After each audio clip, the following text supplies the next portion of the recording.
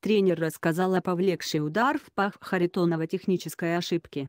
Тренер бойцов смешанного стиля, МА, Тарас Кияшко заявил, что американский боец Мэтт Метрион попал ногой в пах россиянину Сергею Харитонову во время боя в Беллейте из-за технической ошибки.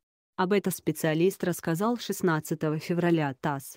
Емельяненко уже нечего доказывать он достиг в МА всего американский боец Аарон Пика о дальнейших перспективах легендарного российского тяжеловеса и схватках Виталия Минакова и Сергея Харитонова в Беллейте. Он уточнил, что при ударе ногой Митрион не довернул бедро, что и стало причиной неудачного попадания.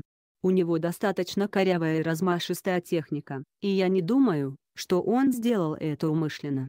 И попал он довольно неудачно, потому что Сергей обычно терпит, но здесь видно, что достаточно больно, рассказал спортивный наставник.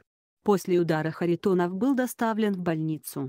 Тренер россиянина сообщил, что спортсмен не может выпрямить левую ногу из-за болей. Поединок между россиянином и американцем 16 февраля в американском городе Анкасвилл штата Коннектикут признали несостоявшимся.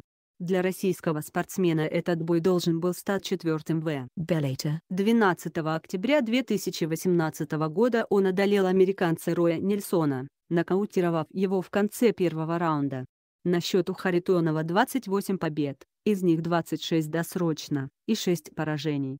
Его соперник Митрион отметился 13 победами, 11 досрочно, и также потерпел 6 поражений.